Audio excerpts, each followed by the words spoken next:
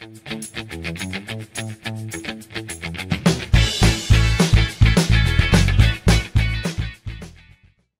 again!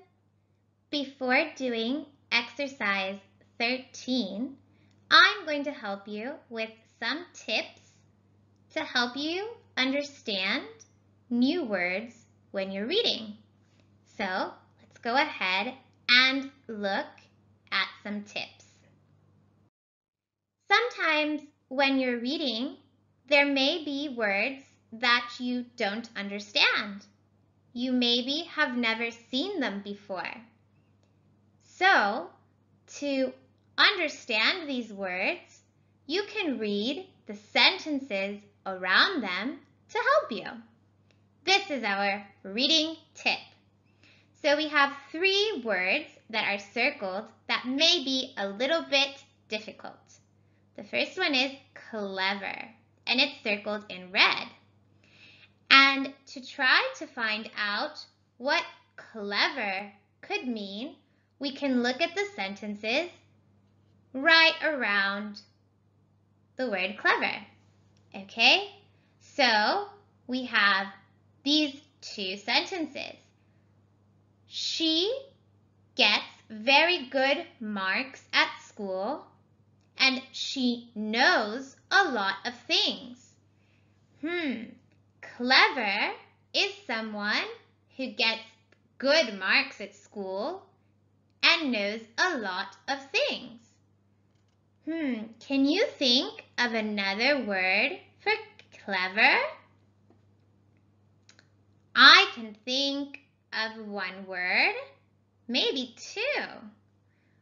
Let's see, clever could be something like smart or intelligent because smart and intelligent people get good marks at school and know a lot of things. We also have another example of a word that might be difficult that is circled in orange.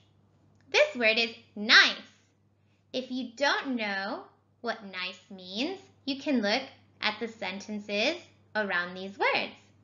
So she is a good person and she likes helping people. So you can think what good person and helping people. What does that mean? And the last one, it's circled in green. And we have the word quiet. If you don't know what the word quiet means and you don't understand it, you can look here in green. Paula doesn't like talking.